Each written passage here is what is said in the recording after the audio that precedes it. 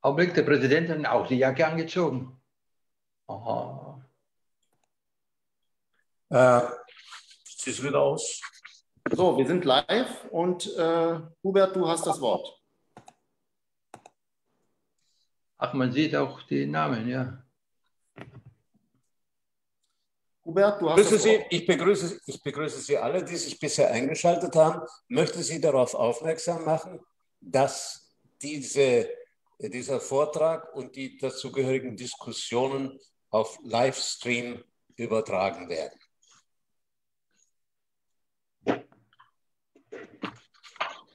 Liebe Freunde unseres Vereins, liebe Mitglieder, wir freuen uns über Ihre Teilnahme an dieser bemerkenswerten Veranstaltung mit einem bemerkenswerten Gast zu dessen bemerkenswerten Buch. Das dreifach Bemerkenswerte beginnt damit, dass die Chronik des Deutsch-Griechischen Vereins Philadelphia aus dem Jahr 2001 folgenden Satz enthält. Ich zitiere. Neben Treffen mit geselligem Charakter gehören seit Frühjahr 1995 auch Vorträge und andere kulturelle Veranstaltungen zum Programm. Den Auftakt dazu bildete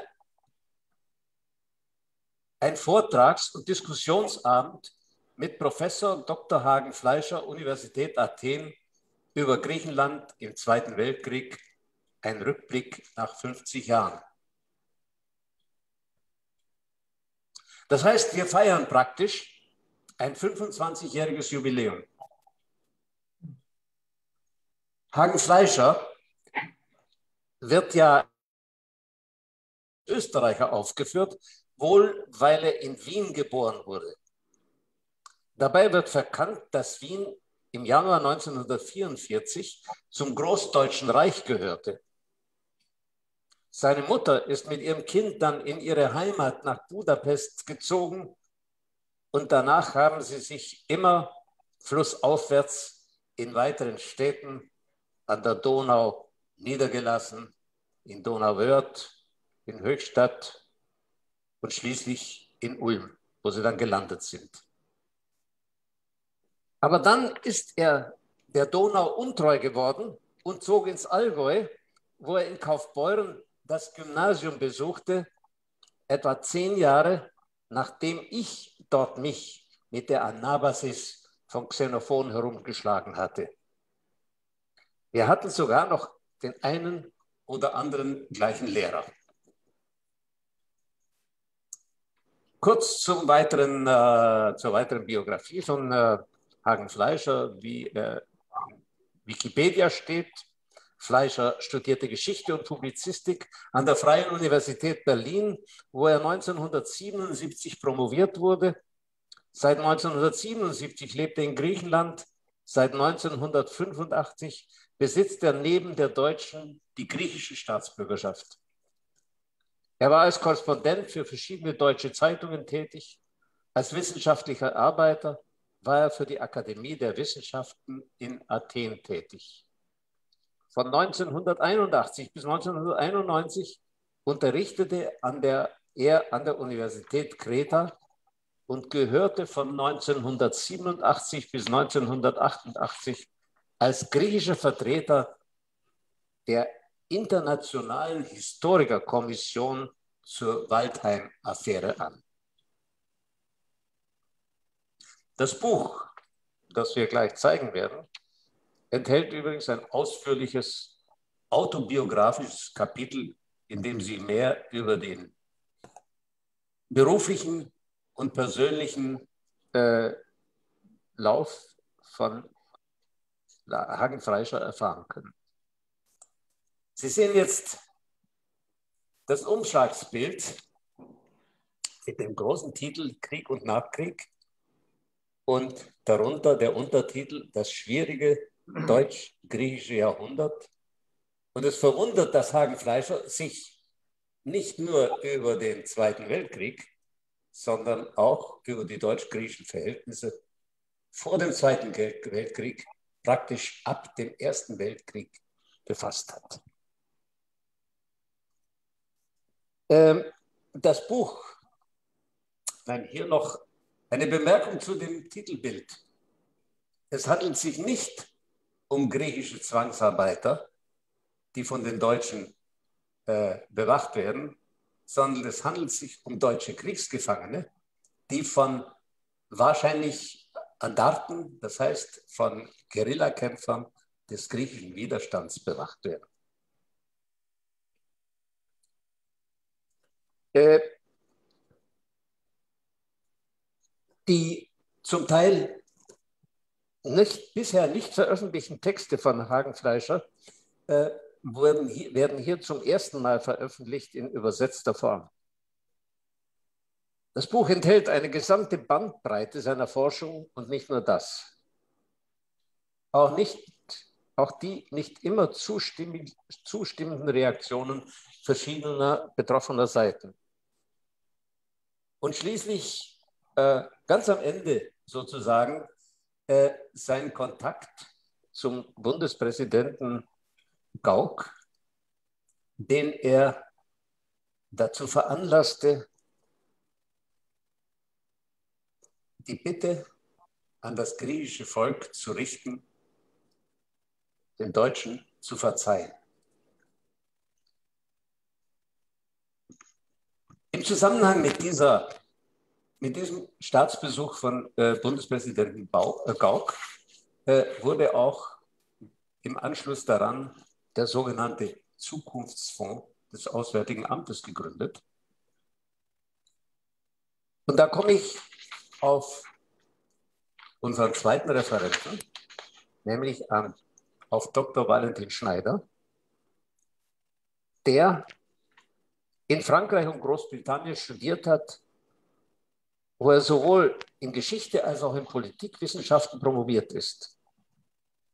Er leitet seit 2018 an der Nationalen Griechischen Forschungsstiftung das Projekt Datenbank der deutschen militärischen und paramilitärischen Einheiten in Griechenland 1941 bis 1944.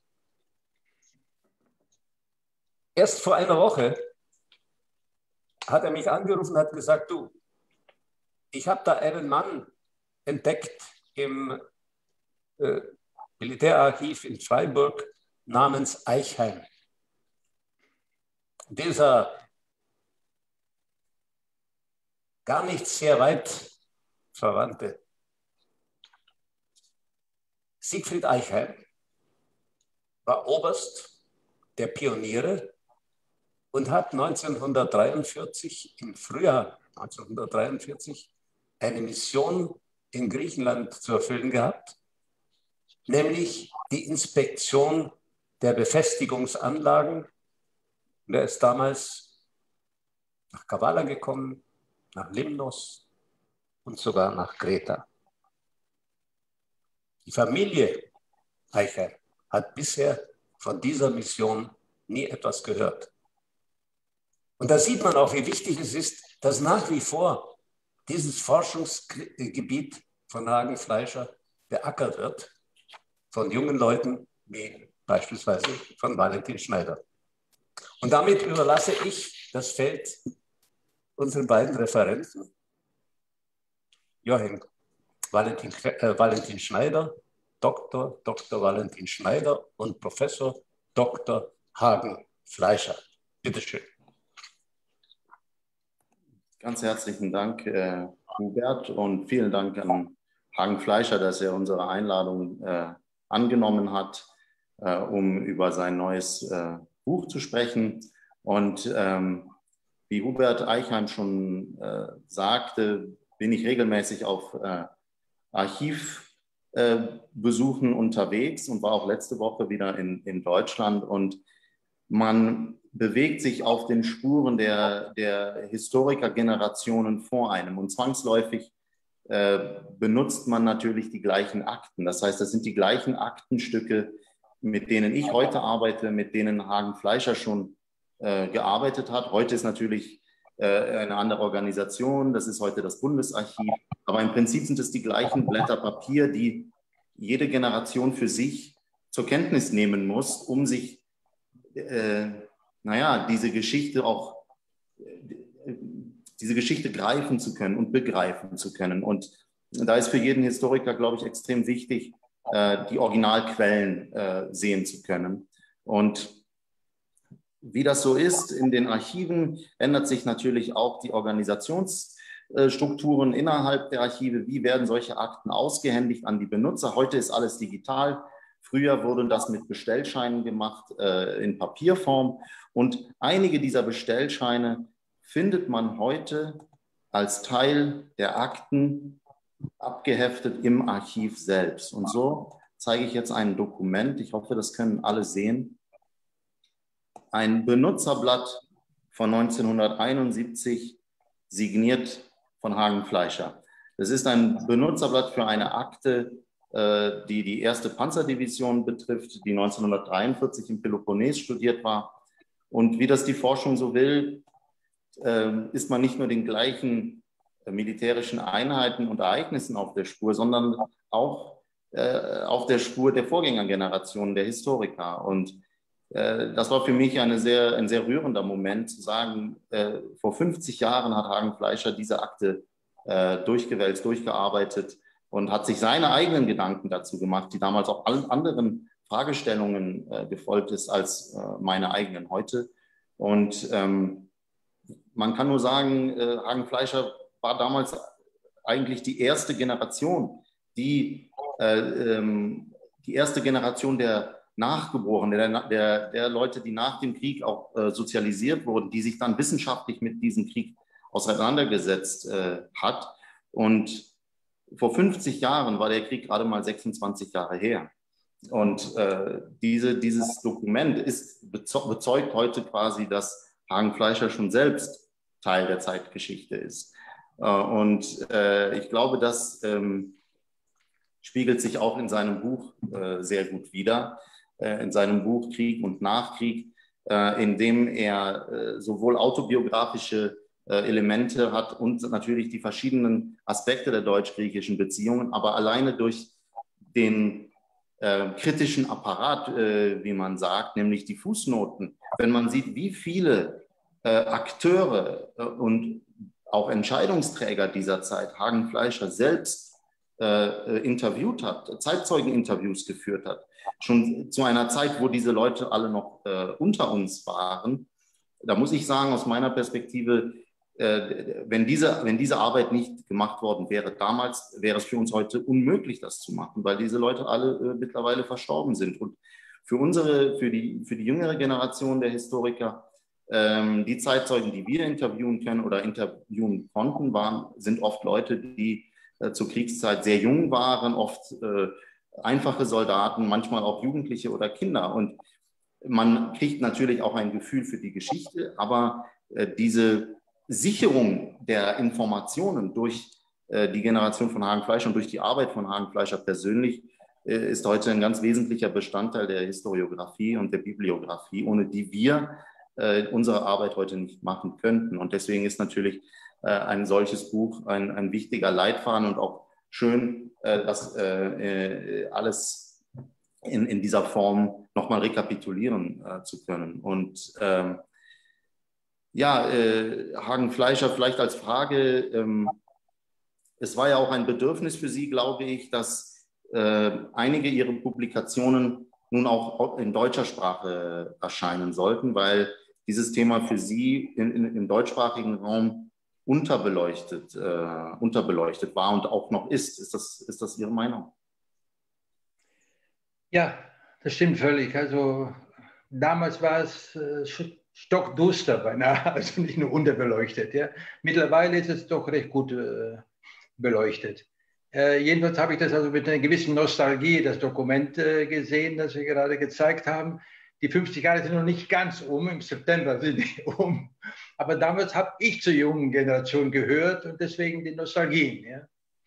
Und, äh, aber ich war so ein bisschen der Exot damals. Ja. Also, äh, man hat also äh, deutsche Besatzung in der Ostfront, ja, oder dann irgendwelchen in Frankreich ebenfalls. Ja. Aber Griechenland, das war ja klassisch, also als ich zum Schrecken meines Doktorvaters die äh, den, das Thema meiner Dissertation etwas weiter nach Süden verlagerte, äh, von Besatzung in Dänemark zur Besatzung in Griechenland. Und mein äh, Doktorvater, der Skandinavist war und der über habilitiert hatte über Quisling äh, und der Boven, äh, der war außer sich und meinte, das ist also, um Himmels Willen, die ruinieren ihre Karriere, wozu, was wollen sie damit? Und äh, ist, da gibt es eine Diktatur, ja, ich sage, das weiß ich. Also über die, die, über die Diktatur bin ich also zu Griechenland gestoßen über meine, weil ich bei einer Anti-Junta-Demonstration in Berlin meine spätere Frau kennengelernt habe. Das ist ein anderes Thema. Deswegen meinte er auch, na, heiraten Sie das Mädchen, aber lassen Sie doch, also, äh, setzen Sie nicht Ihre Karriere aufs Spiel. Und, äh, wer interessiert sich für Griechenland? Das ist eine Fußnote. Und tatsächlich, also, äh, was mich immer erschüttert also die in den äh, Lehrbüchern zur Geschichte, äh, in Gymnasien, äh, Lyceen und so weiter, Griechenland war an sich mit zwei Halbsätzen abgehandelt. Ja? Also im äh, April 41 äh, war die Wehrmacht gezwungen, ein, in Griechenland einzumarschieren und in Jugoslawien, um die Flanke für die spätere Operation Barbarossa gegen die Sowjetunion, Sowjetunion abzusichern. Ja. Und dann wieder im Herbst 1944, äh, da die Rote Armee also äh, einen im, im Domino-System einen der Satelliten nach dem anderen umwarf und in äh, Rumänien einmarschiert, in Bulgarien einmarschiert äh, war die Wehrmacht wiederum gezwungen, äh, Griechenland zu verlassen. Also die arme Wehrmacht, die hat also nie aus eigener Initiative gemacht, die war immer gezwungen wegen irgendwelcher anderen. Äh, mal waren die Italiener schuld, da sie sich also die, die Nase verbrannt haben in Albanien, an der albanischen Front. Und, äh, aber an sich waren das nette Leute, die also äh, eben einmarschieren mussten, abziehen mussten. Aber was sie dazwischen getan haben, in diesen dreieinhalb Jahren, äh, das findet man nicht. Also was haben die sich fotografieren lassen vor der, vor der Akropolis? Ja, gibt es massenhaft solche, solche äh, Bilder. Ja, ich dachte zuerst, ob ich vielleicht so ein Bild als, als Titelbild nehme, aber das war mir dann doch ein bisschen zu banal. Ja. Ja, hat diese Verdrängungs, äh, diese, diese, diese Verdrängung äh, der Deutschen, äh, dieser, dieses Teils der schmutzigen Geschichte des Zweiten Weltkriegs auch mit der Idealisierung Griechenlands zu tun, auch mit diesem antiken Ideal, dass man dieses Bild aufrechterhalten wollte und nicht das auch noch beschmutzen musste jetzt mit der Wehrmachtgeschichte. Ja, das ist genau, ich habe das gehört, aber wieso in Griechenland? Also Hitler war doch viel Hellene und er war doch auf seine Art natürlich. Ja. Und äh, da musste man also wirklich äh, Türen aufbrechen, also die, die waren nicht offen, um die einzurennen. Ja.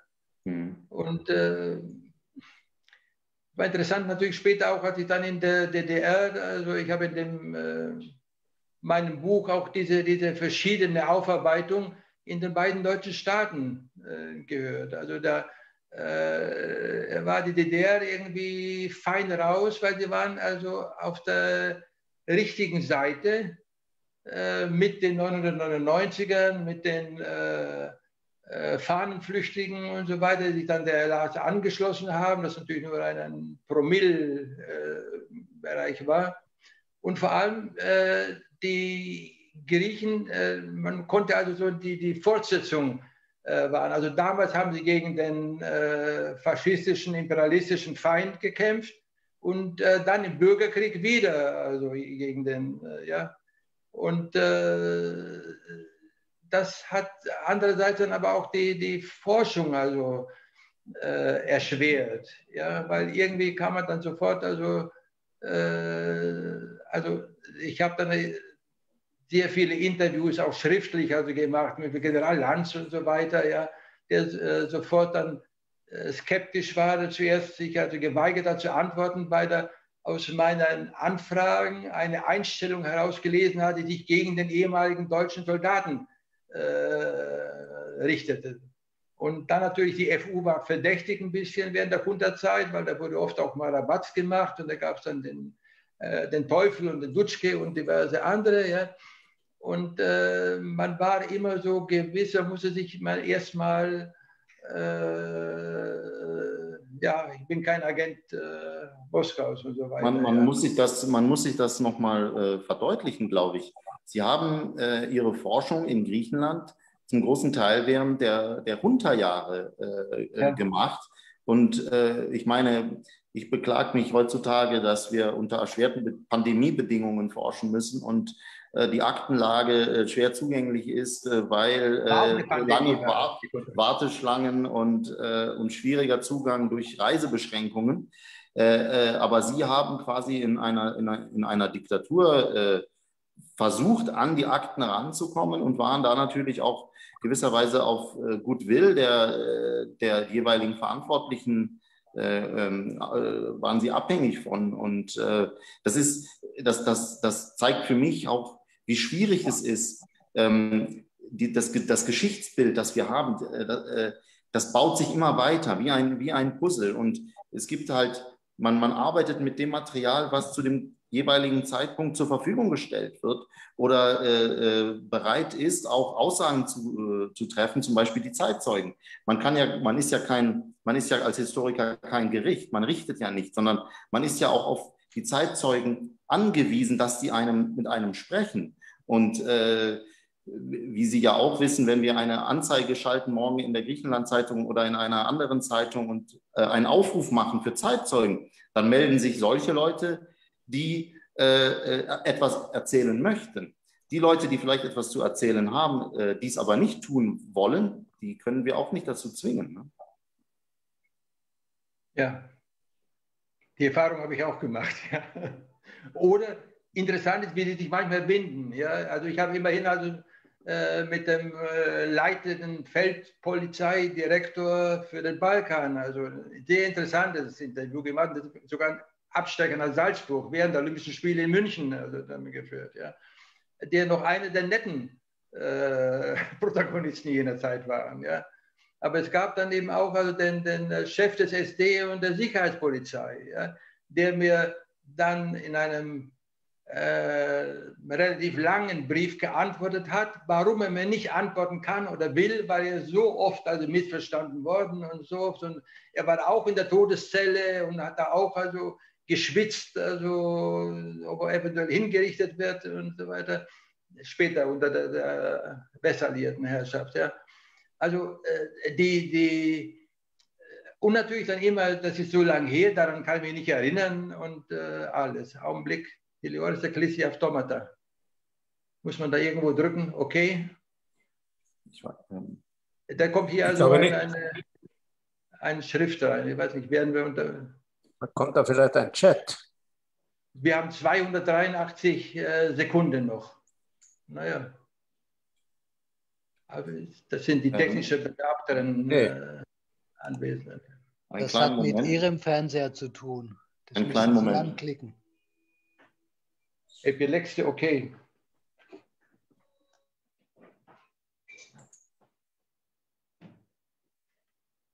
Okay.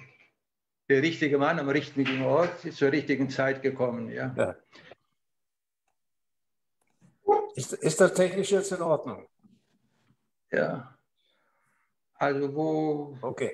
doch noch irgendwie eine spezielle okay. Nachfrage, aber das Problem ist natürlich, ja, ja. gerade also bei, bei, bei den äh, Zeitzeugen, also die, äh, die, die sprechen wollen, die, die nicht sprechen wollen oder die sich aufraffen, eventuell auch mal ein, ein Bekenntnis abzugeben, was relativ selten vorkam, aber doch gelegentlich vorkommt. Äh, interessant, auch wenn man jemanden nur aus der Korrespondenz kennengelernt hat und wer dann äh, eventuell beim Berlin-Besuch dann Zwischenstation gemacht hat und sich gemeldet hat und so weiter. Ja. Äh, ja, wenn wir nochmal auf diese Frage der, der Unterbeleuchtung der, der griechischen Geschichte, auch der, der neueren griechischen Geschichte im, äh, in der deutschen Erinnerung, in der deutschen äh, historischen Kultur äh, zurückkommen, ähm, hat das natürlich auch, denke ich, damit zu tun, dass Deutschland natürlich viele Feinde hatte im Zweiten Weltkrieg und rundum, rundum versucht hat, äh, äh, einem nach dem anderen die Geschichte aufzuarbeiten. Und da ist dann sicherlich Griechenland auch nicht auf das erste Land auf der Prioritätenliste gewesen. Ich denke da zum Beispiel an die sehr frühen Initiativen zwischen Deutschland und Frankreich, wo ähm, es auch möglich war, für die Franzosen eine starke Stimme geltend zu machen gegenüber den Deutschen, aber gleichzeitig auch schon äh, Ende der 50er Jahre, äh, Anfang der 60er Jahre im, im, im Rahmen der deutsch-französischen Annäherung verurteilte deutsche Kriegsverbrecher aus französischen Gefängnissen freizulassen, zu begnadigen als, als Geste des guten Willens äh, der Franzosen gegenüber Deutschland. Also da ist man in, in Griechenland zu der gleichen Zeit sehr weit äh, von entfernt gewesen und hat diese Unterbeleuchtung vielleicht auch damit zu tun, dass es in Griechenland sehr lange gedauert hat, um eine gemeinsame Sprache für den, äh, für den Krieg zu finden, eine gemeinsame Einigungskultur, hinter der sich äh, alle wiederfinden oder zumindest ein, der größte Teil der Bevölkerung. Äh, hier bestand natürlich das Problem nicht nur auf der deutschen Seite, sondern auch auf der griechischen Seite. Ja? Also äh, das ist, äh, wenn also die, ich habe öfters also auch geschrieben, also der, das Lieblingszitat äh, der deutschen Diplomaten in Griechenland war eins von König Paul, der gesagt hat, im Bürgerkrieg äh, gab es viel mehr griechische Opfer als unter der deutschen Besatzung. Und das war natürlich gefundenes Fressen dann also für die deutsche Diplomatie. Und äh, dann war, ähm, muss man berücksichtigen, also dass, dass die, der Widerstand äh, und die Opferorganisationen und so weiter, die hatten alle fast einen linken äh, Background, wie man auf Neudeutsch sagt, ja. Und äh, standen alle also mit, mit einem Bein fast in der Illegalität. Ja, das, die Kommunistische Partei war äh, verboten und so weiter. Und äh, deswegen, also äh, Athen war die erste alliierte Hauptstadt und die einzige alliierte Hauptstadt, wo äh, deutsche Diplomaten das Wort Bandenbekämpfung gebrauchen konnten. Ja. Das hätten sie also bestimmt in Frankreich nicht gewagt. Ja, weil die wären sonst also postwendend äh, rausgeflogen als Persona non grata. Hm. Und äh, das war, also wenn man sagt, also die, die Griechen haben also als erste die Versöhnungshand den Deutschen äh, ausgestreckt. Äh, dann stimmt das zum Teil. Ja? Also einerseits natürlich die, äh, die Regierung, die jeweilige Regierung, äh, ja, das waren alle konservativ, das waren alle Antikommunisten.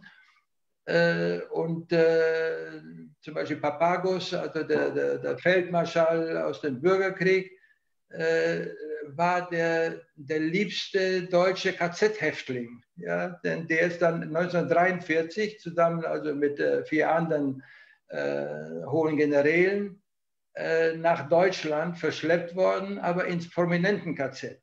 Ja? Und hat dann auch später also äh, Memoiren geschrieben, Kriegsmemoiren, aber nur 4041, wo also ein äh, offizieller Krieg zwischen zwei Armeen war, wo, wobei sich beide Seiten eine gewisse Ritterlichkeit bescheinigt haben. Äh, das waren also so, äh, da konnte man eben leichter zur Versöhnung kommen. Ja. Und äh, deswegen hat auch die, äh, interessant ist, dass das Auswärtige Amt das befürwortet, äh, dass die, Deutsch, dass die äh, Memoiren von Papagos auf Deutsch erscheinen und da sich kein deutscher Verlag dafür interessiert hat, ähm, der musste natürlich bezahlt werden und also äh, mit so und so vielen Kopien, ähm, Exemplare mussten also abgenommen werden. Da wurden zuerst mal 4000 Mark gegeben, dann hat man gesehen, da kauft immer noch niemand, also die, die deutschen Papagos-Memoiren, dann nochmal 4000 Mark und so weiter. Und das war also so, äh, und dem Auswärtigen Amt hat gesagt, na gut, wir haben ein bisschen Wiedergutmachung geleistet. Ja.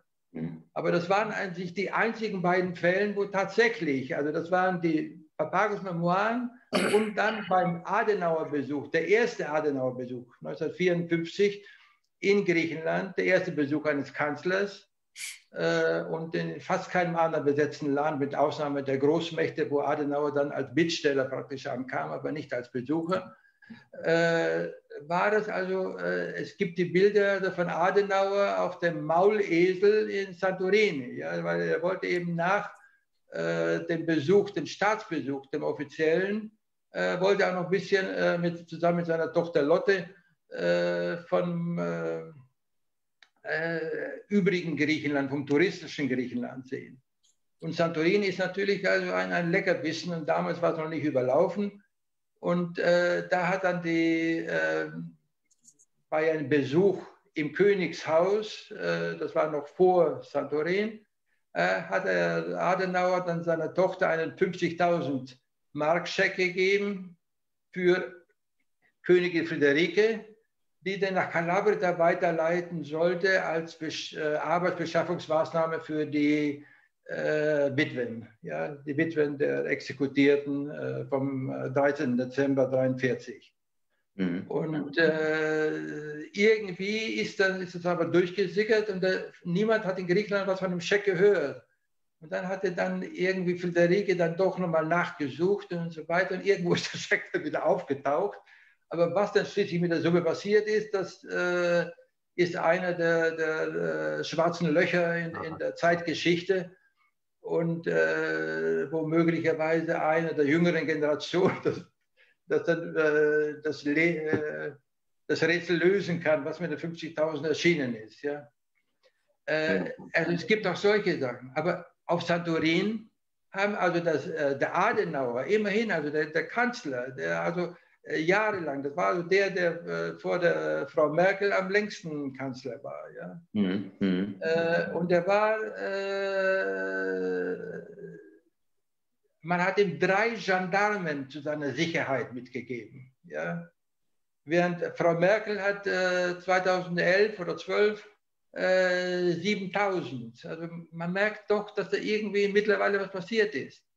Weil äh, die war nicht nötig. Also er hat nicht nur war durch die Regierung abgesichert, dass sie auch also äh, im Kalten Krieg auf der gleichen, äh, in der gleichen Front saßen, sondern auch gegenüber der Bevölkerung. Also tatsächlich, es gab also, das ist überliefert, es gab also sehr viele äh, anonyme Griechen, Santoriner und so weiter. Oder zwei Jahre später Präsident Heuss, der ebenfalls nach sieben Jahren Amtszeit war er zum ersten Mal äh, von einem alliierten Land eingeladen worden. Das war also äh, auch eine, äh, als ob er irgendwie Lepra gehabt hätte und so weiter. Einen deutschen Präsidenten, den lädt man nicht ein. Ja?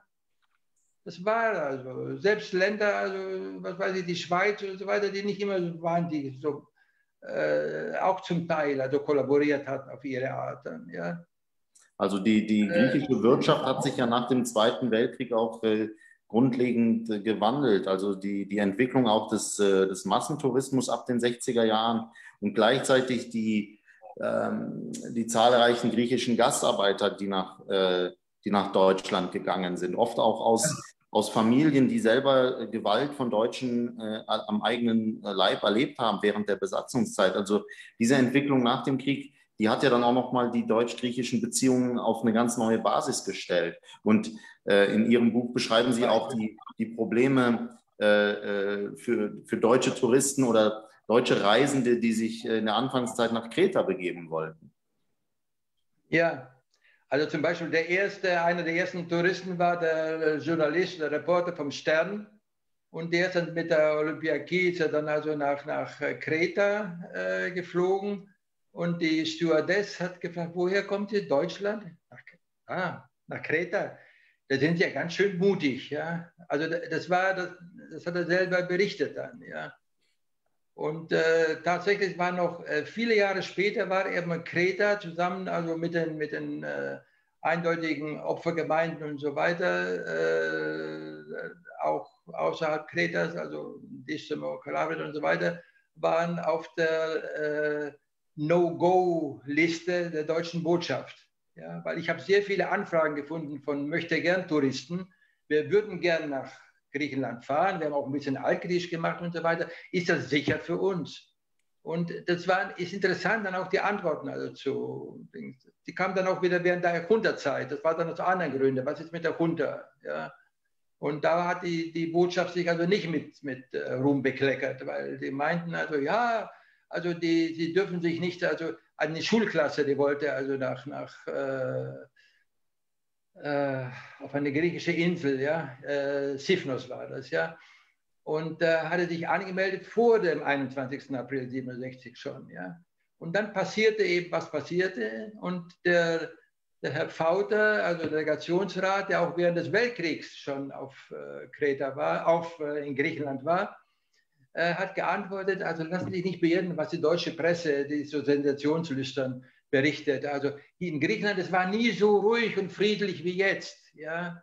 Während äh, leider, wir waren also vor dem Putsch, äh, bestand also die akute Gefahr des Bürgerkriegs. Während die besteht jetzt nicht.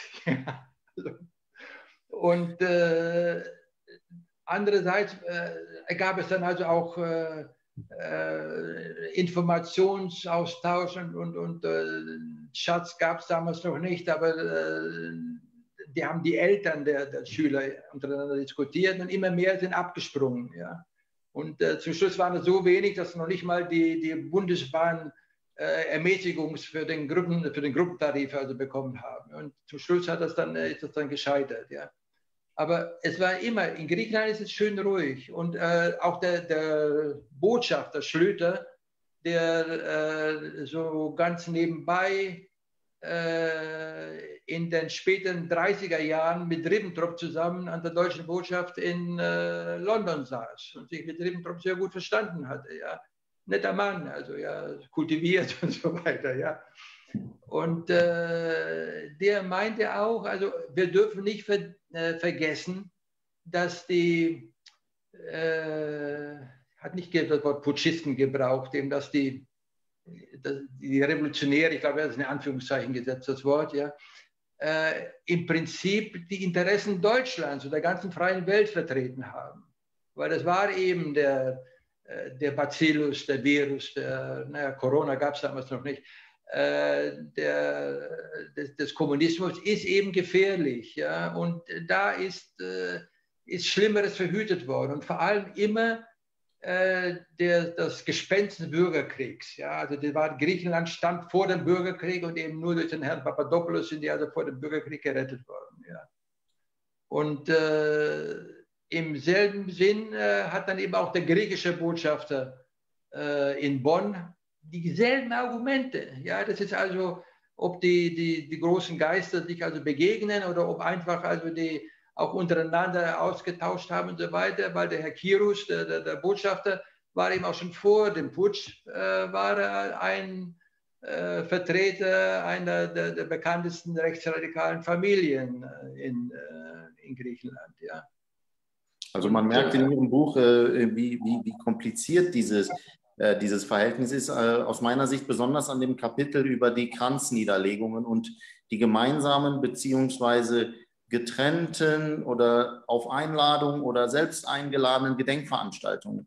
Und da spürt man, wie schmal dieser Grad ist zwischen äh, äh, Provokation und ehrlich, gemeinte, äh, ehrlich gemeintem Versöhnungsversuch und gleichzeitig auch, wie, äh, wie wichtig es ist für, ähm, für, für ein Opfer, äh, äh, den, Täter, den Täter zu haben, der seine Tat anerkennt.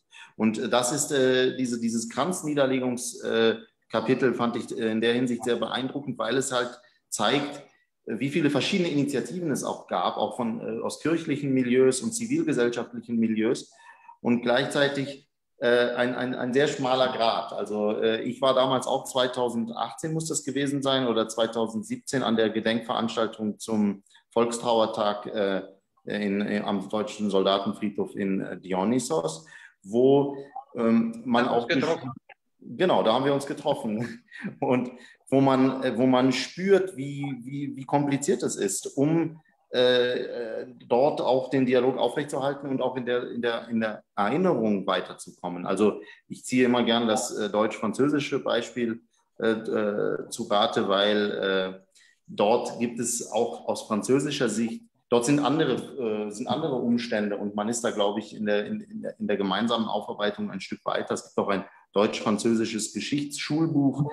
Und, aber gleichzeitig habe ich das Gefühl, in den deutsch-französischen Beziehungen hat Frankreich viel mehr das Bedürfnis, Deutschland heutzutage einzubinden in Gedenkveranstaltungen zum Ersten und zum Zweiten Weltkrieg, quasi in einer ganz anderen Herangehensweise an die Geschichte als etwas gemeinsam Erlebtes, also auf Augenhöhe.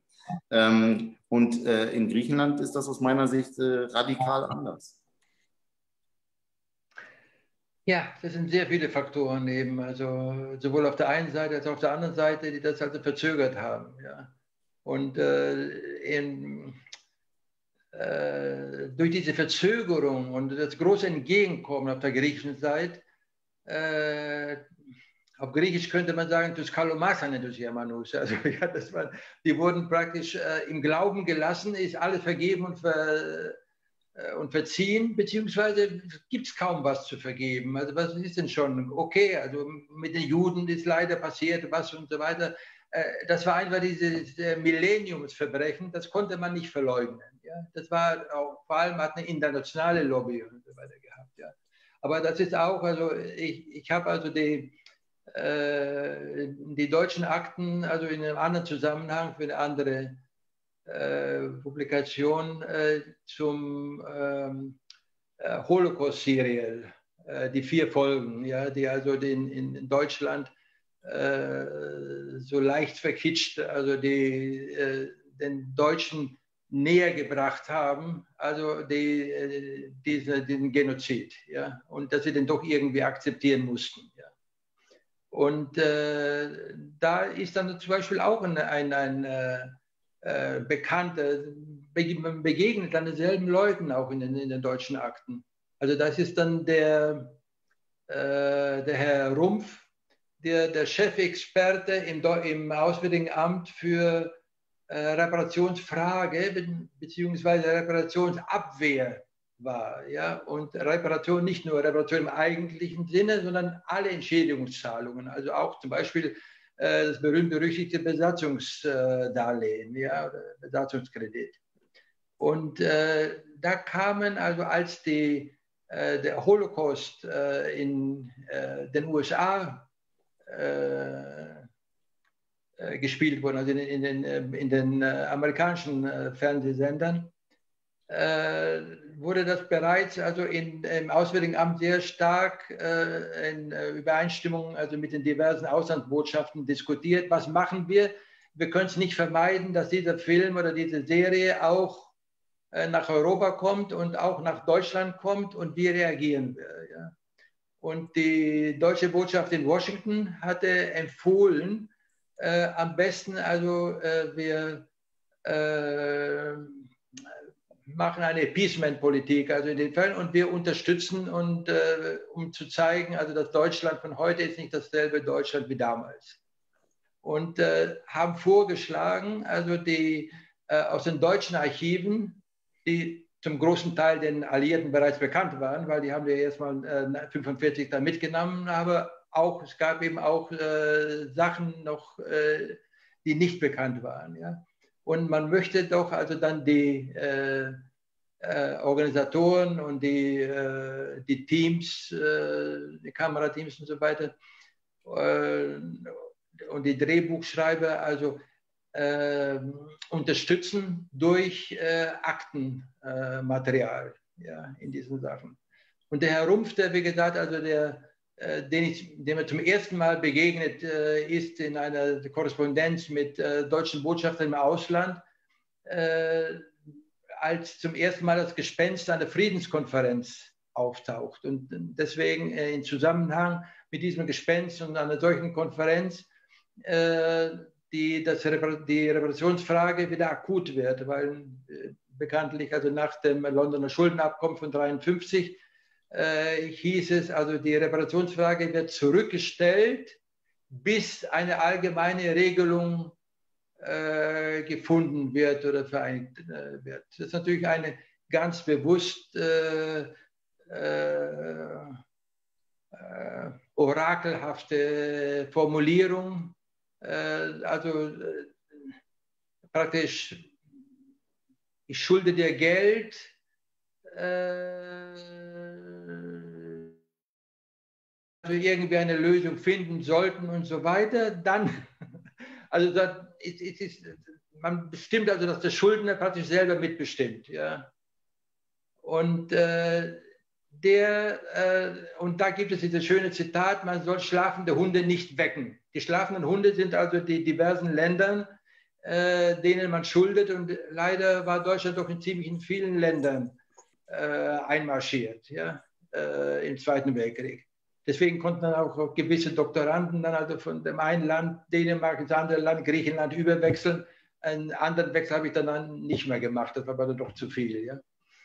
Und äh, diese mit den schlafenden Hunden nicht wecken, derselbe Rumpf hat also an der, einen ziemlich groben Brief an die Botschaft nach Washington geschrieben. Was soll der Blödsinn? Also wir, wir bieten doch nicht äh, eine Initiative und eine äh, Aktion, die gegen uns gerichtet sind, äh, beliefern nicht noch mit zusätzlichem äh, belastenden Material. Das, wir, wir wären doch schön blöd. Ja? Also, und das ist also, ist doch ziemlich erschütternd. Ja. ja. Also, und gerade im deutschen Kontext, äh, im deutsch-griechischen Kontext, gibt es eben sehr viel, weil eben, wie gesagt, ich habe vorhin gesagt, die, äh, die deutschen Botschafter brauchten sich also keinen Zwang antun damals. Äh, immerhin einige waren, hatten also Parteibuch und so weiter. Und äh, oder zwei Parteibücher, erst NSDAP und nachher CDU, also rein zufällig. Und äh, ein, ein, ein, weiteres Kapitel, was ich sehr interessant fand äh, in Ihrem Buch, war das zu dem deutsch-griechischen Dreieck, also die Beziehungen äh, zwischen Griechenland und den beiden deutschen Staaten. Und äh, man spürt das auch äh, heute noch, dass es zwischen Griechenland und äh, der DDR ein, ein besonderes Verhältnis gab. Zum Beispiel sieht man zum Teil noch äh, alte Geschäfte, Auto, Autoläden, Autohändler, die noch alte Wartburg-Werbung äh, führen oder verblasste Werbung für ostdeutsche Produkte, kann man in alten Geschäften in manchen Straßen in Athen äh, noch finden. Ähm, hat Griechenland da auch versucht, äh, äh da sich so ein bisschen äh, zu positionieren zwischen dem Westen und dem, dem Ostblock? Mit, mit wechselnden Abständen, ja. Also interessant ist also, dass äh, zum Beispiel 1970, wenn ich mich richtig erinnere, waren äh, europäische Leichtathletik-Meisterschaften in Athen. Ja. Und äh, da hat also die DDR hat abgesahnt, die Goldmedaillen, ja, ob zum Teil mit äh, pharmazeutischer Nachhilfe und so weiter, das wollen wir jetzt also nicht im Weiteren erläutern. Aber es war äh, die Zeit, als die Griechen äh, die DDR-Hymne Hymne auferstanden aus Ruinen und so weiter, äh, fast auswendig gelernt haben, weil die hatten wirklich so oft gehört. Ja. Und äh, während eine Bundes bundesrepublikanische Mannschaft war eben nicht vertreten auch. Und aber ganz allgemein äh, waren die Beziehungen also sehr eng, äh, nicht nur auf der linken Seite, sondern auch allgemeiner, weil man dachte, gut, also die sind äh, die Bundesrepublik, die muss, die NATO-Partner und so weiter, die können also die, die, äh, die, die Obristen also da nicht rausschmeißen und so weiter, aber die äh, DDR hat also größere Spiel, größeren Spielraum, ja, war so die Ansicht. Und äh, auch sowohl davor und auch danach, also ich, ich habe selber zum Beispiel auch Kollegen, äh, Historiker, die also zum Beispiel ein äh, Stipendium in der DDR, äh, in Leipzig oder sonst wo bekommen haben, da ein äh, Politbüro-Mitglied der KQE äh, ein Empfehlungsschreiben äh, äh, angefertigt hatte. Ja? Und auf der anderen Seite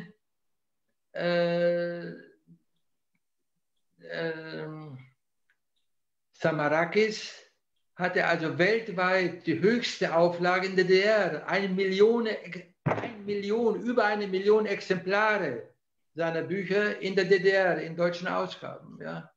Und natürlich dann die, äh, die Memoiren äh, über, die, über die Erlass, seine Rolle im Erlass von Stefano Sarafis und äh, die, das Buch über das Herz der Hölle, Herz der Hölle war das KZ Haidari und so weiter. Die wurden alle auf, im, äh, auf Deutsch äh, publiziert. Ja? In der DDR, natürlich nicht in der Bundesrepublik. Ja? Weil da kam man dann höchstens auf die Liste des Verfassungsschutzes. Also ich mhm. habe Anfragen und, und Nachfragen und Vorladungen äh, bekommen, also vom Verfassungsschutz für alle Fälle, ja. Und äh, weil ich bin, also dann äh, Wehrmachtsoffiziere, ehemalige, hohe, äh, haben, äh, die immer noch Verbindungen hatten zum äh, äh, Verfassungsschutz. Und sie haben gesagt, da gibt es einen, einen neugierigen Typen, Fleischer heißt er, in, in Berlin, Vorsicht. Ja? Also, und da fragen sie nach, ist, und ich habe das auch schriftlich und so weiter. Ja? Und ich weiß noch, ich habe noch ein, ein, äh, eine Vorladung vom Innensenat in Berlin bekommen, der gar nicht also weisungsberechtigt war, weil in, Berlin, West-Berlin war nicht, auch, da war der Verfassungsschutz war nicht, nicht, äh, nicht handlungsberechtigt. Und äh, ich komme rein und sehe einen Herrn sowieso, also hat sogar einen äh, Doktortitel gehabt. Und äh, ich wusste immer noch nicht, also was ich dachte, das ist eventuell mit einer äh, Staatsbürgerschaftsangelegenheit wegen Beibehaltung der, der, der, deutschen Staatsbürgerschaft, also wenn ich die Griechen, also und völlig aus dem Blauen kommt dann also der, der erhobene Zeigefinger, Herr Fleischer, ja, Sie haben Argwohn erregt. Das ist auch ein, ein schönes Zitat, das ich nie vergessen werde ach, ich, wo, warum und so weiter. Und dann hieß es äh, so und so und so und so, ja. Mhm. Äh, die, also, das war einfach, äh, wenn ich also auf, auf der Spur von Kollaborateuren gewesen wäre, hätte ich vermutlich keinen Argwohn erregt, weil es diverse Kollaborateure der, der, äh, der Deutschen während des Weltkriegs, der Papa Naum, der also sehr, Lars Papa Naum, der sehr involviert war in dem, äh, im Holocaust. Äh, aber auch andere äh, hatten äh, die deutsche Schutzmacht praktisch im Hintergrund und sie haben auch eben wieder die deutsche Staatsbürgerschaft erhalten. Ja? Mhm. Äh, also zum Zeitpunkt, wo also dann, was weiß ich, die, äh, die Junta-Flüchtlinge aus Griechenland bestenfalls einen Fremdenpass erhalten haben. Also äh, das, sind alles keine Ruhmesblätter, auch während der Hundertzeit und danach. Es gab ja. natürlich dann, dann auch die, äh, die erfreulichen Fälle. Und es gab also viele und auch es waren also äh, insbesondere auch das Goethe-Institut und, und äh, Weißer damals und, und andere ja, haben also eine sehr, sehr positive Rolle gespielt und wurden deswegen dann aber auch oft direkt äh, denunziert vom äh, deutschen Botschafter. Ja. Gleichzeitig hatte äh, Griechenland ja auch noch mit einem anderen Nachfolgestaat des äh, ehemaligen Dritten Reiches zu tun, nämlich äh, mit Österreich. Und man erfährt ja in Ihrem Buch auch, dass ähm, eine bestimmte, also eine, eine, eine gewisse Komponente der Streitkräfte der Wehrmacht äh, auch äh, österreichische Soldaten waren, beziehungsweise äh, auch Einheiten, die mit unter den den Truppen waren, die am, am meisten, also die äh, besonders viele Kriegsverbrechen hier begangen haben. Ja. Und äh, das ist äh, nochmal ein, ein, ein, eine, eine spannende Konstellation, glaube ich, wie Griechenland mit Österreich umgegangen ist, beziehungsweise wie Österreich mit Griechenland umgegangen ist nach dem Zweiten Weltkrieg. Ja, die Österreicher. Ich bin ja auch Viertelösterreicher, wenn man so sagen kann. Ja, und bin deswegen also äh, sitzt gewissermaßen auch ein bisschen im Glashaus. Aber die Österreicher waren tatsächlich also die Gewinner des, äh, des Zweiten Weltkriegs, also im Nachhinein. Ja. Und äh, lustig war also, als die Österreicher auch Wiedergutmachung, Reparationen von der Bundesrepublik verlangten, äh, meinte Adenauer, also die kriegen im höchsten Fall die Gebeine vom Adolf, wenn wir sie finden. Ja? Und das ist zumindest kolportiert, das Zitat, also ist nicht hundertprozentig, aber ist doch ziemlich sicher. Ja? Und passt zu Adenauer. Ja? Und äh, das war die, das war also die, äh, der das Bonbon der Alliierten für Österreich, äh, dass sie als erstes Opfer äh, Hitlers anerkannt wurden. Ja?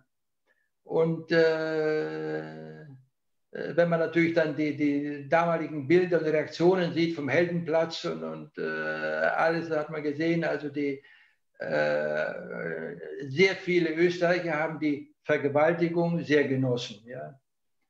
Und äh,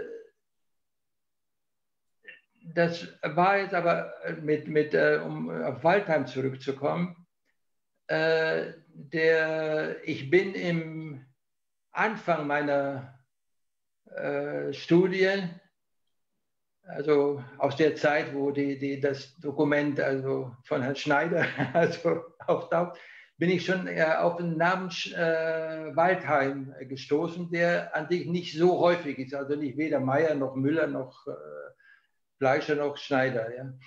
Und äh, ich hatte dann auch sehr viel Oral History, also Interviews gemacht und ich habe dann also zwei höhere Offiziere gefragt, Augenblick mal, dieser Waldheim, äh, hat der was zu tun, also mit dem, äh, mit dem Waldheim, der äh, jetzt Generalsekretär, also im, im äh, der Vereinten Nationen ist. Ja, also, ja, ja, natürlich. Also das war, äh, das war der Herr mit der, mit der Stromlinienfigur, der immer durch die äh, diensteifrig durch die Flure marschiert ist und so weiter und sich angebietet hat.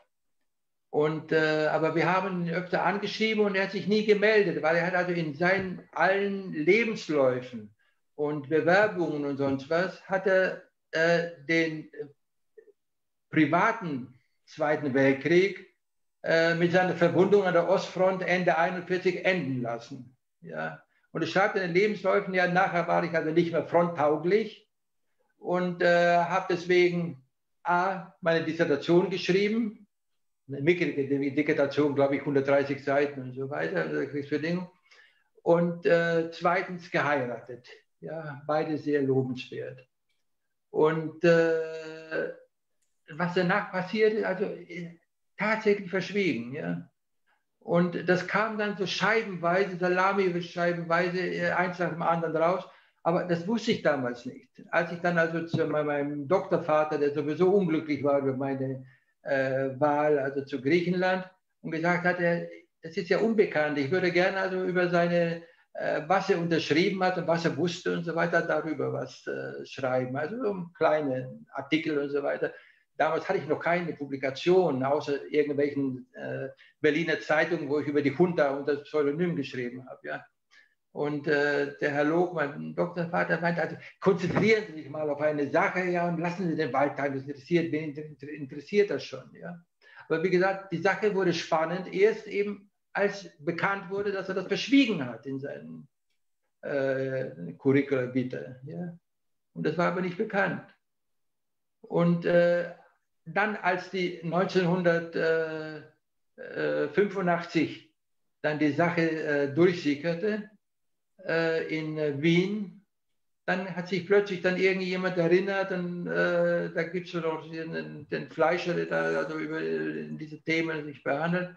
Und bin dann also äh, äh, interviewt worden, gefragt worden und so weiter. Und dann auch in die Waldheim Internationale Historikerkommission zur Untersuchung der Kriegsvergangenheit des gewählten Präsidenten. Ja, das ist, was man sich nicht passiert. Ich, es gibt keinen anderen Präzedenzfall. Ja. Und äh, bin dann also dort äh, kooptiert worden als, als äh, Sachverständiger. Ja. Wobei auch interessant war, dass äh, äh, wie die Österreicher reagiert haben. Ja. Dann, dann hieß es also, ja, also natürlich die äh, die internationale, die, die Historikerkommission, das ist wieder die, die Juden stehen, stecken dahinter. Ja.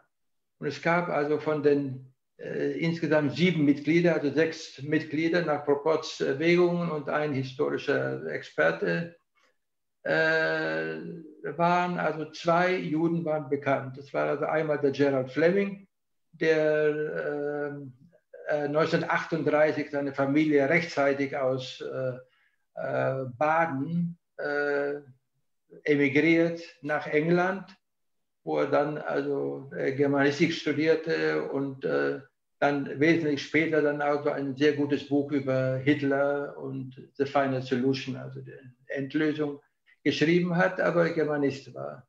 Der andere war der Präsident der äh, israelischen Militärhistoriker, der war natürlich Jude. Und äh, dann kam Waldheim, nee, sagte, es sind aber drei Juden in der, in, der, in der Kommission. Dann haben wir alle nach dem dritten Juden gesucht. Ja.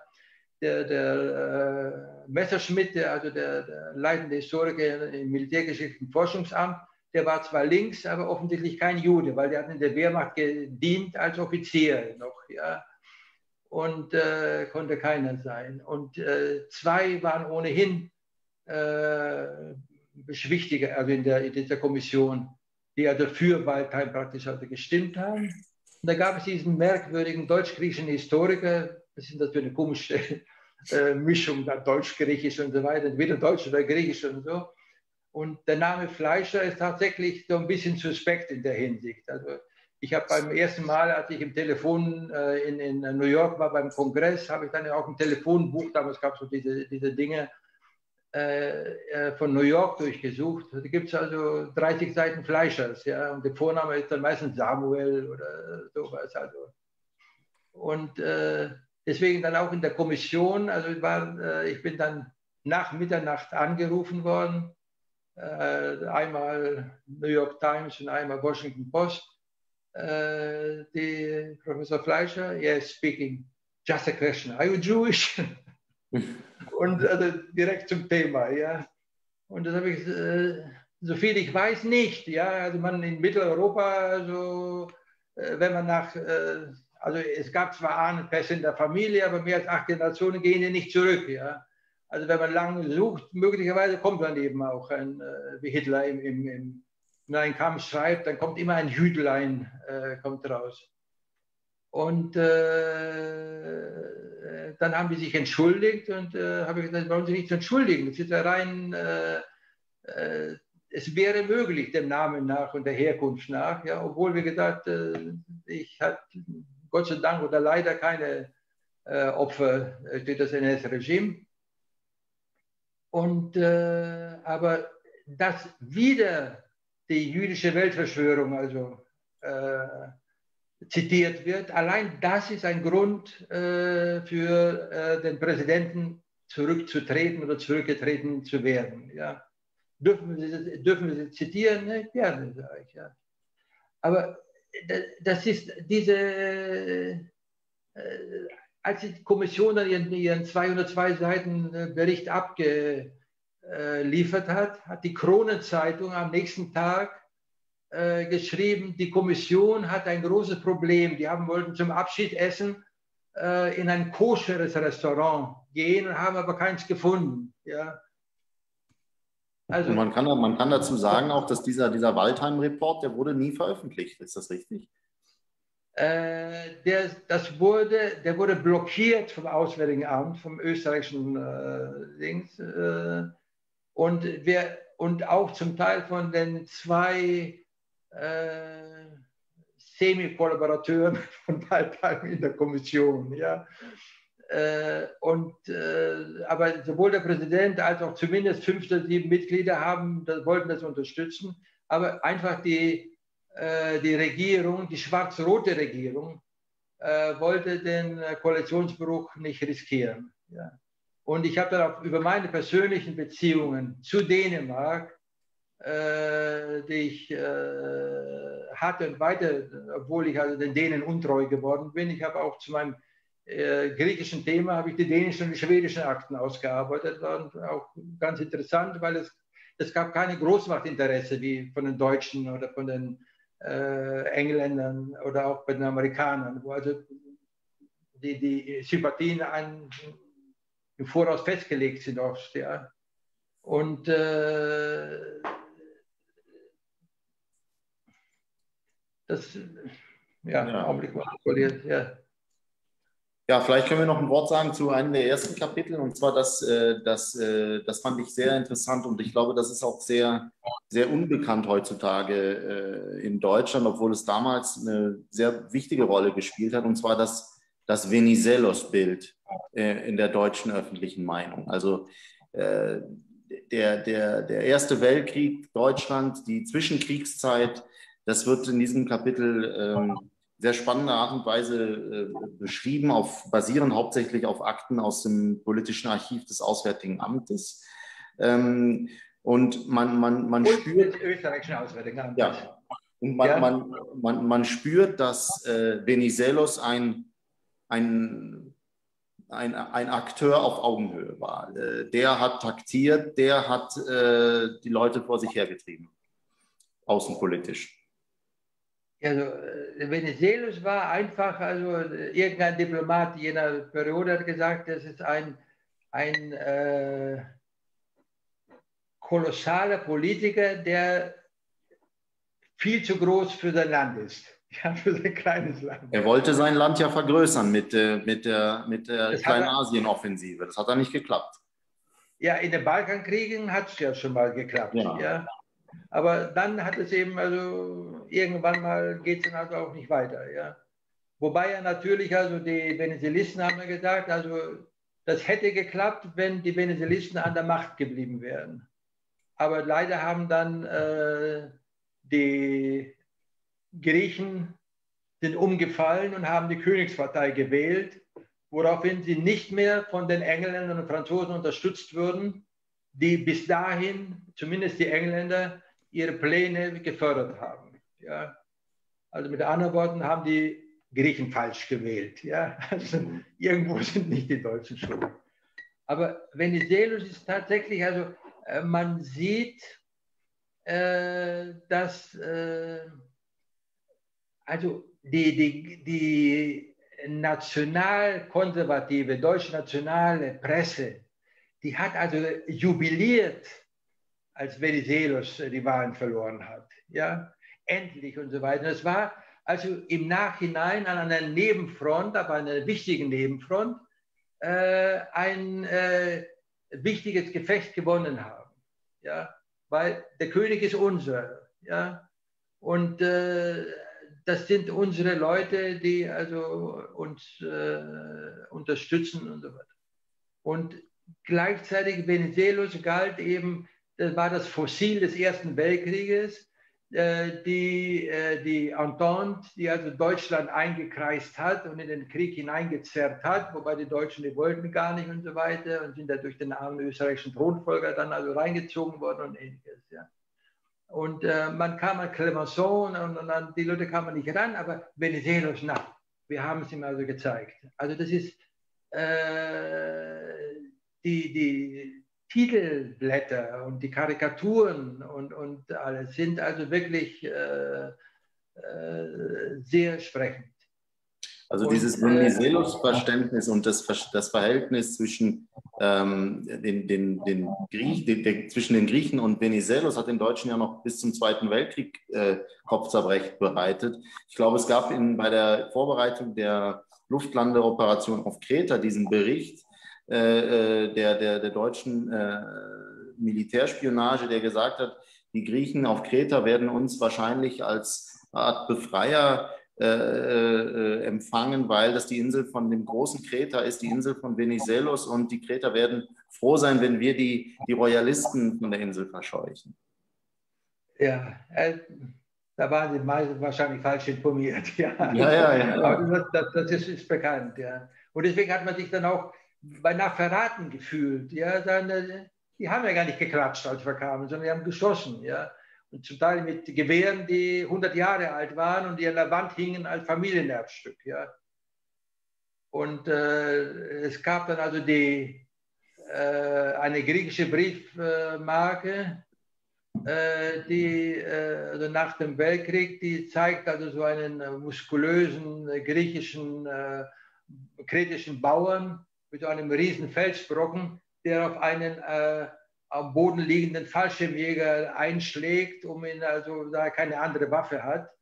Woraufhin natürlich dann die äh, deutsche Presse gesagt hat, naja, da sieht man, die Griechen, die Kreter haben die, das internationale Kriegsrecht nicht eingehalten. Die haben, also man darf doch nicht mit Felsbrocken auf, auf arme Eindringlinge einfach losschlagen. Ja? Und noch nicht mal eine Uniform haben sie getragen. Ja? Hatten sie keine Zeit, eine zu besorgen oder anzuziehen. Also es ist äh, völlig verschiedene Ausgangspositionen. Ja, also aber, das, aber, äh, Ihr, ihr, ihr Buch, wir zeigen das nochmal, also das beinhaltet wirklich alle diese, diese, diese komplizierten Facetten, die natürlich auch dadurch zu erklären sind, dass es zwei sehr unterschiedliche Partner, zwei sehr unterschiedliche Länder sind. Äh, auch allein äh, Größen, äh, von, der, von der Größe und von der Bevölkerung her. Äh, vielleicht äh, können wir damit zum Abschluss. Noch ein Wort, noch, noch ein Wort ja? vielleicht also zum, zum Titel. Also Krieg und Nachkrieg also äh, nach Krieg als, als, als äh, autonomes Substantiv ist nicht so gebräuchlich, man sagt Nachkriegszeit oder äh, irgend sowas. Aber das hat sich tatsächlich überlagert in beiden Fällen. Also die ganzen nach Versailles wurde immer die Kriegsvergangenheit. Wer war mit uns, wer war gegen uns und so weiter. Ja? äh, hat eben eine große Rolle gespielt. Und das ging dann bis wirklich bis in der, in der bis zur der Diktatur, wo dann, da gab es eine Zensur und da hat es dann nicht eine Rolle gespielt. Und dann nach dem Zweiten Weltkrieg natürlich nochmal wieder, also äh, die Vorkriegszeit, Nachkriegszeit, Kriegszeit hat sich alles also überlagert gegenseitig. Ja, und natürlich und, auch die Mobilisierung äh, der Geschichte. Ja, ein Zitat drin, was also typisch ist, 1953, äh, 63 also ein knappes halbes Jahrhundert nach Ausbruch des Ersten Weltkriegs, äh, hat der damalige deutsche Botschafter äh, in Athen, äh, wurde gedrängt vom, äh, vom deutschen Honorarkonsul in äh, Kreta, äh, der natürlich Venezuelist war, der nebenbei auch ein Freund vom alten Mitsotakis war und so weiter wurde gedrängt, also äh, das wäre doch eine gute Gelegenheit, endlich mal einen Besuch von der deutschen Botschaft auf Kreta abzustatten und dabei auch das äh, äh, Grab und das Mausoleum und die Anlage und das äh, ehemalige, äh, also insbesondere das Grab also von Venizelos als Versöhnungsgäste zu besuchen. Ja. Und äh, der Botschafter, der ist richtig, also ist außer sich, ja, hat das also abgelehnt und schüttet sein Herz aus gegenüber dem Auswärtigen Amt, sagt, Venizelos, das war der Mann, der Griechenland in den Krieg gegen uns geführt hat. Wobei uns hat x-mal inzwischen das, das, Regime gewechselt. Ja? Kaiserreich, Weimarer Republik, Nazi-Periode, äh, äh, Bundesrepublik. Ja? Ist immer noch gegen uns. Und nebenbei hat er auch eine, eine äh, fatale Rolle für die äh, griechische Monarchie ge, gespielt. Ja? Also aus zwei Gründen dürfen wir das also nicht äh, machen. Ja?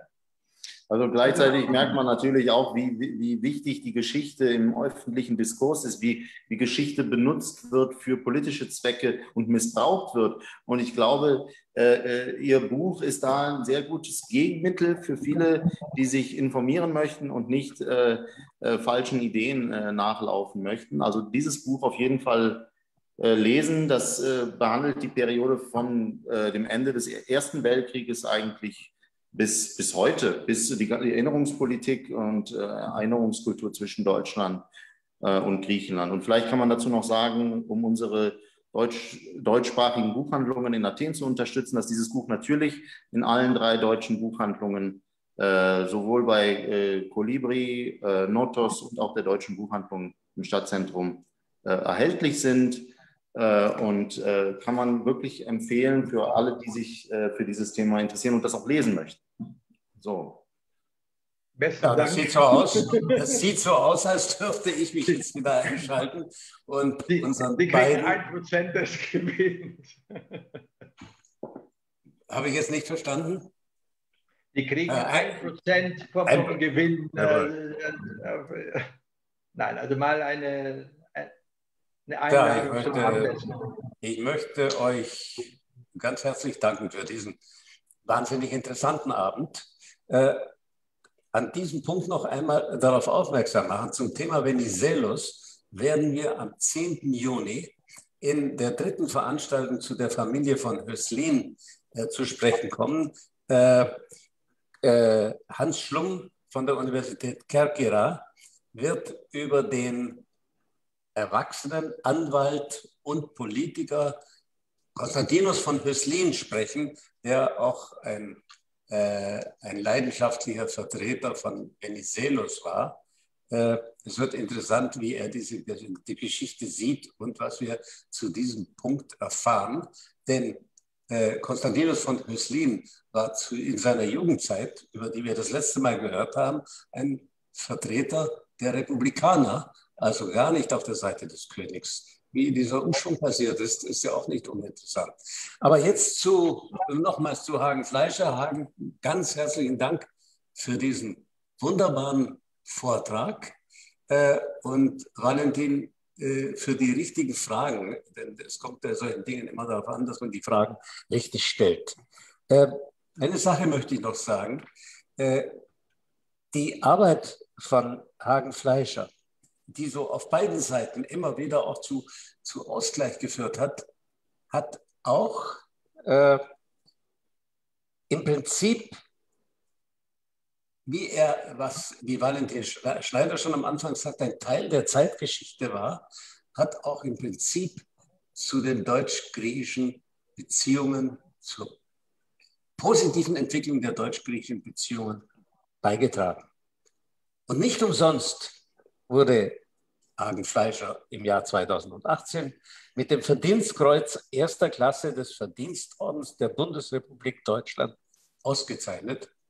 Ich war bei dieser Preisverleihung äh, anwesend und im letzten Jahr bekam er von der Eteria Elinon Singrafeon den Preis für das beste Buch. Ich nehme an, dass es sich um dieses Buch handelt, oder nicht? Nee, allgemein für, für mein Werk, ja. Also allgemein, für, allgemein für das, Werk, ja. Das war 2020, ja, ja. Also der, der griechische Schriftstellerverband, ja. Was immerhin für einen Ausländer und dann zum Teil für einen Deutschen doch. Aber ja, weil doch immerhin eine, Linus und Grapeon haben eventuell nicht alle verstanden, ja. Immerhin eine, eine unglaublich ehrende Auszeichnung, weil sie eben auch auf Initiativen der griechischen Seite kam, die ja äh, immer wieder äh, mit in, in diesem Wechselspiel zwischen Deutsch-Griechisch eine äh, nicht ganz so starke Rolle gespielt hat, spielen konnte, äh, weil sie auch zum Teil nicht so gut vertreten war von der, von der griechischen Seite.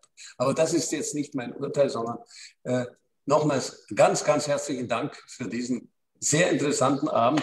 In 25 Jahren äh, werde ich dann nicht mehr der Vorsitzende des äh, Philadelphia Vereins sein. Aber ich hoffe, dass man dann in der, in der Chronik von Philadelphia nochmals einen Hinweis findet, dass vor 50 Jahren äh, Hagen, Hagen Fleischer bereits einen Vortrag zu diesem Thema gehalten hat. Ganz herzlichen Dank und einen schönen Abend für alle, die heute Abend teilgenommen haben. Wiedersehen. Danke wieder schauen. Vielleicht komme ich dann auch mit dem, mit dem Stock. Also man kann es nie wissen. Dankeschön. Ja, Dankeschön. Wiedersehen. Sehr schön, sehr interessant. Ja, Grüße aus Holland. Tschüss. Ich danke allen, allen die also die Geduld aufgebracht haben. Also War keine Geduld nötig? Nee. Okay.